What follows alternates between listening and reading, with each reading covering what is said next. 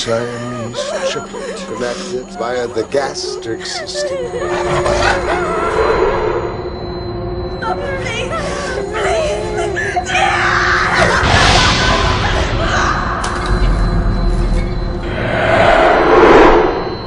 What is this? 100% medically accurate. Is this a perverted film you've been talking about?